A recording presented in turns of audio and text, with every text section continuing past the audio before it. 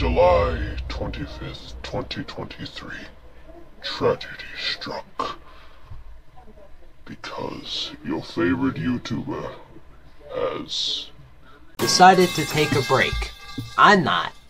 I'm taking over the channel for him. But he wants me to. So basically, he's not dead. This whole screen is a joke. So, basically, he uh, he wants to take a mental health break, which is good on him. I'm taking over. I'll be posting more often. Uh, don't expect me to post every day though, because I can't promise that. But I promise you guys that I will get more videos up while he's gone. So I hope you enjoy. See you in the next videos that come out.